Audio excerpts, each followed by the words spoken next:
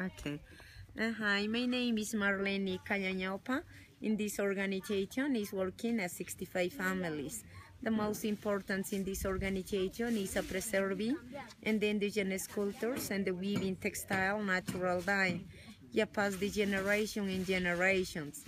This is a punch, a traditional punch, uh, representing the weaving textile, uh, spiritual mountains the spiritual mountains. That is the ticas, the flowers. That is the stars, the cochas, the lake, the lagoons.